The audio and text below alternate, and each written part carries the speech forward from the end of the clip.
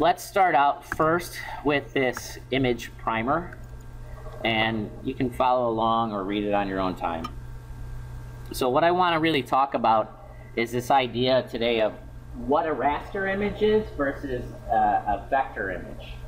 Now, Photoshop is a raster program.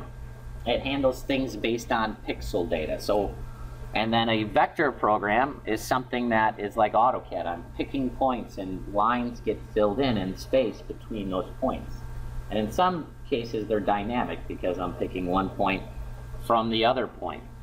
Um, so you can see here, and in a raster image, it's using a grid of pixels. So if I think of when I look really, really closely, right, and I take a, I draw a line in AutoCAD, and then I export it out, or I do anything, um, or I take a picture of myself, and it's like this really tiny image that I put on Facebook, and it looks like really blurry, right? And it's got like these square edges around things that are rounded. That's the pixelization happening, um, also called anti-aliasing. And what it's doing is essentially only every single pixel can only hold one single color, right? So the higher a resolution, when we talk resolution, the more of a re resolution I have, the more colors I can have within my document in some cases.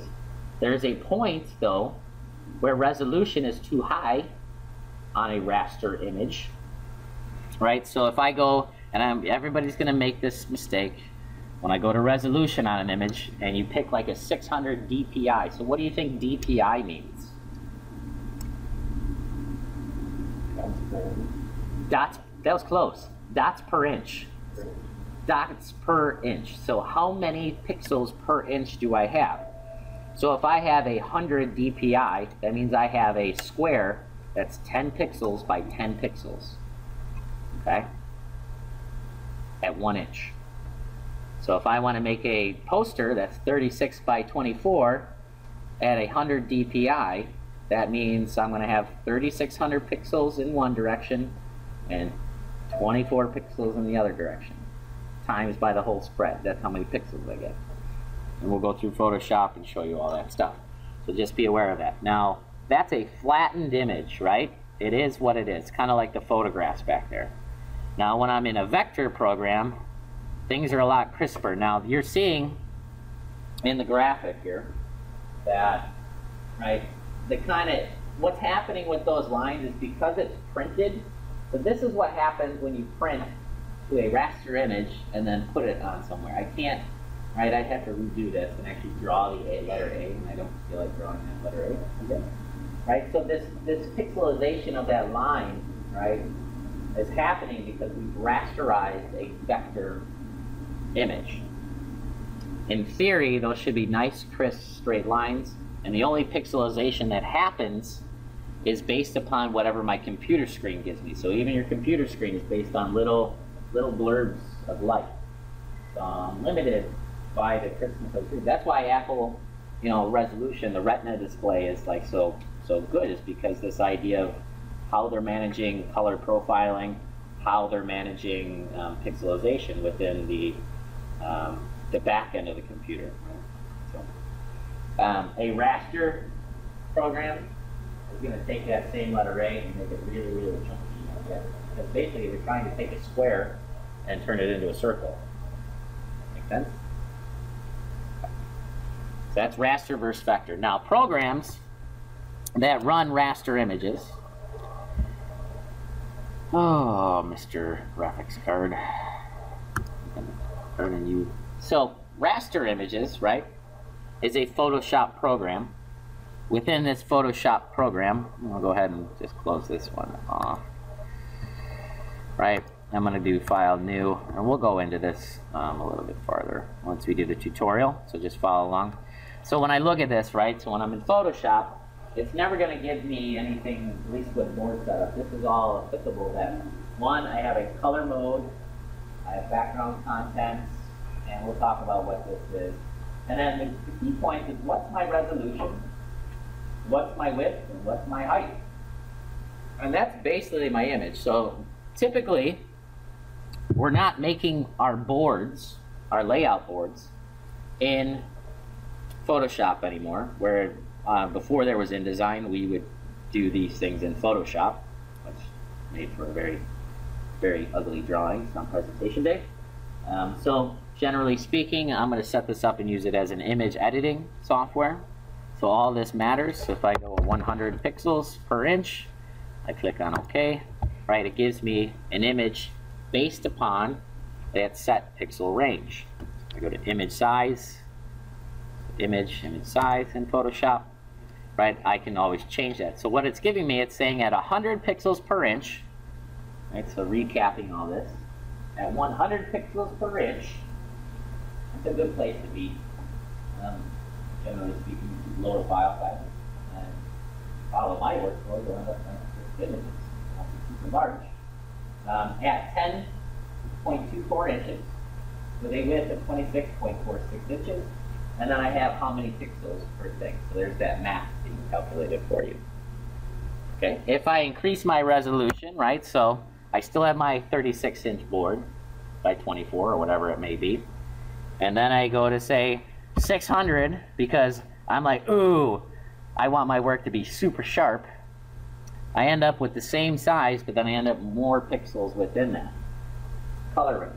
Now, unfortunately, most of the stuff when you go to print, back to this idea of DPI, DPI corresponds to also resolution, pixels per inch, dots per inch, same kind of thing.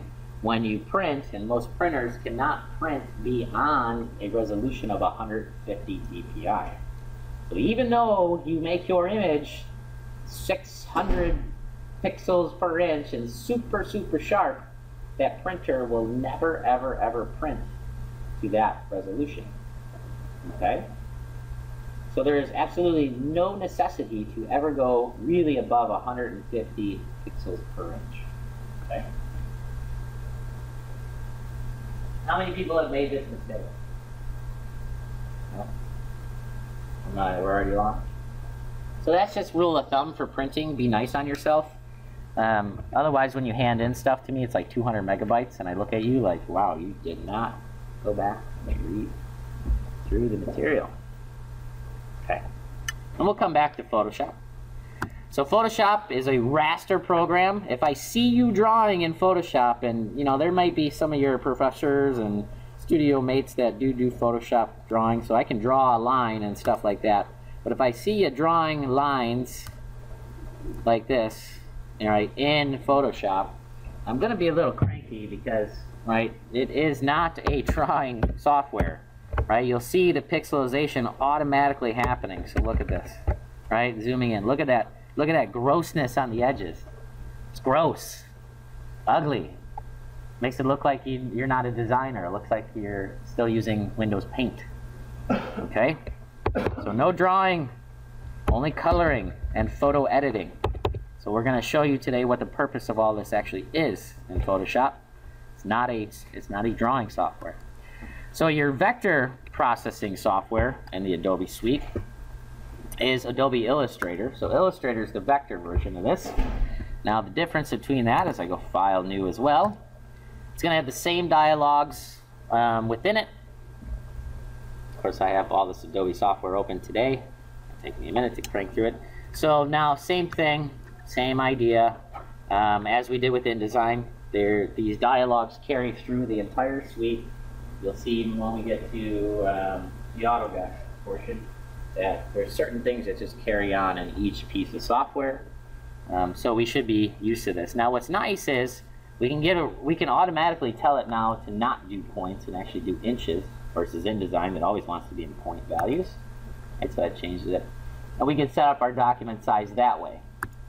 Um, now, since this is a drawing program, setting up um, spaces, right? I'm not setting up image sizes. I'm actually setting up a canvas, right? So there's a difference between the image canvas, like a raster canvas, and then a vector canvas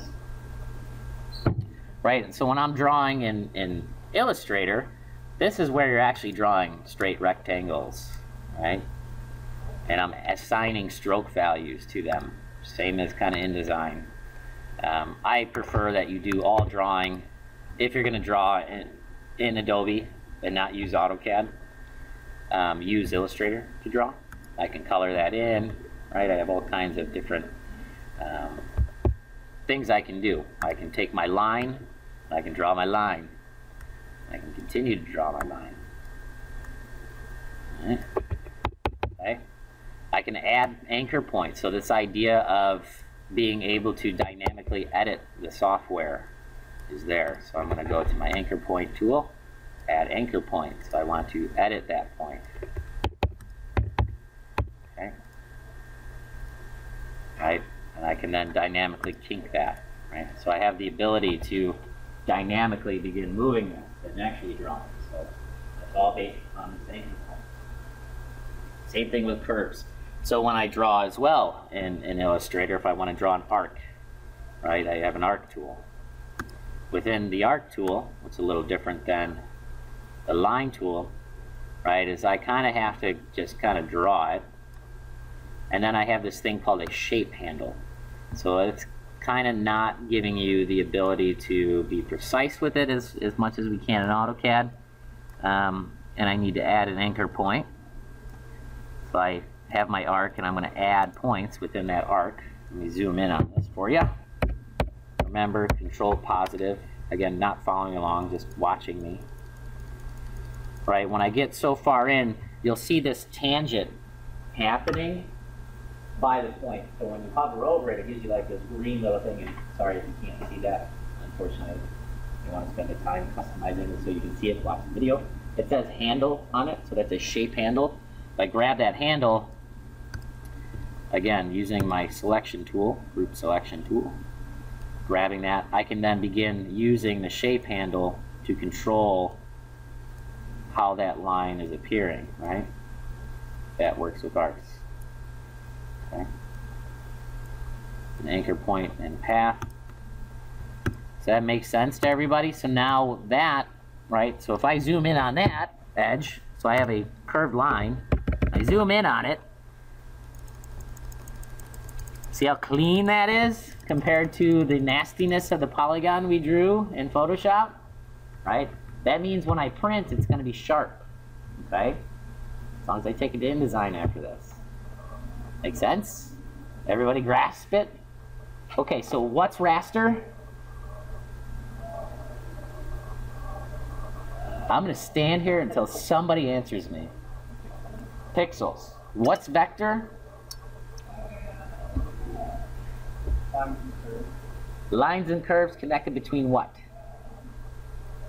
Dynamic points. What software do we use raster images in?